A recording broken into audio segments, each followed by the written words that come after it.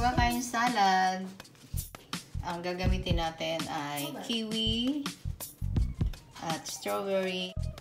May tomato at pipino. At etong ating watercress. So, yan yung bida, yung watercress. Kasi, ngayon pa lang ako titikim nito. Watercress. Pang dressing.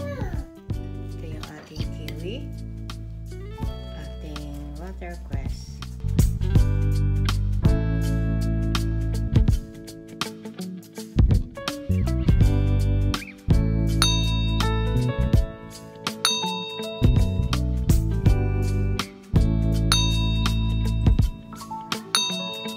Ayan, nilagyan na natin ng vinaigrette. At kain na tayo! Thank you for watching!